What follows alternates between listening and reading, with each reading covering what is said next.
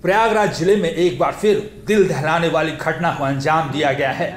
गंगा पार के सुराव थाना क्षेत्र इलाके के सेवायत गाँव में एक ही परिवार के पाँच लोगों की निर्मम हत्या कर दी गई। पाँच हत्याओं से एक बार फिर प्रयागराज दहला है। एक ही परिवार के पाँच लोगों की हत्या से पूरे ज़िले में सनसनी फैल गई है। सोराव थाना क्षेत्र के यूसुफपुर सेवायत में हत्याकांड को अंजाम दिया गया है। जानकारी के अनुसार विजय शंकर तिवारी, उनकी पत्नी और दो बच्चों सहित एक अन्य की धारदार हथियार से हत्या कर दी गई। मिली जानकारी के मुताबिक आपसी रंजिश में हत्या की आशंका जताई जा रही है। मौके पर फॉरेंसिक टीम पहुँच गई। सुराव थाना सहित कई थानों की फोर्स सहित ज़िले के आला अधिकारी मौके पर पहुँचे। पुलिस मामले की जाँच में जुटी है। हत्याकांड को लेकर अभी पुलिस अधिकारी कुछ भी बोलने से बच रहे हैं।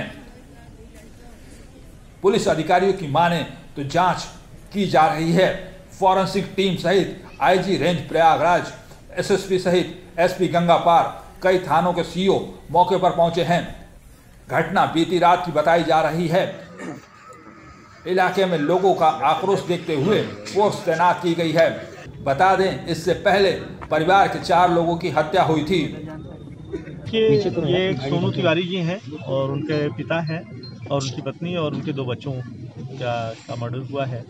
प्रथम दृष्टया ये लग रहा है कि ये मर्डर है और हम लोग इन्वेस्टिगेशन कर रहे हैं। और जल्दी हम लोग कोशिश करेंगे कि जो सही गैंग है उसको हम वर्कआउट करें।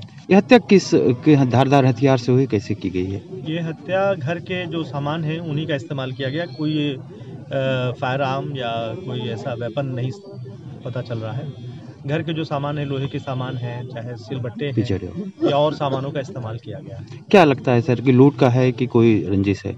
नहीं ये अभी तो ये नहीं का ये मर्डर हुआ है। अब इन्वेस्टिगेशन का विषय है कि कैसे हुआ है क्यों हुआ है। हम लोग हमारी टीम फोरेंसिक टीम आ गई है। वो इन्वेस्टिगेशन कर रही है हम लोग भी लगे हैं। जल्दी इसको हम लोग वर्कआउट करेंगे। ठीक सर लगभग डेढ़ वर्ष पूर्व 7 सितंबर 2018 को ही सोराव थाना क्षेत्र के बिकिहिया गाँव निवासी कमलेश देवी, उनकी बेटी किरण दमाद प्रताप नारायण, रिंकी के बेटे विराट की हत्या हुई थी। उसके बाद ही सोराव थाना क्षेत्र इलाके में सास और बहू की धारदार हथियार से काटकर हत्या कर दी गई थी। कुछ माह पहले ही छत पर सो रहे दंपतियों की धारदार हथियार से काटकर हत्या कर दी गई थी। जाते हैं लेकिन अपराध कम नहीं। अरे इतना बड़ा सहयोग आप जनता से क्या चाहते हैं? जनता पूरा आपके साथ सहयोग कर रही है सहयोग कर रहा है। लेकिन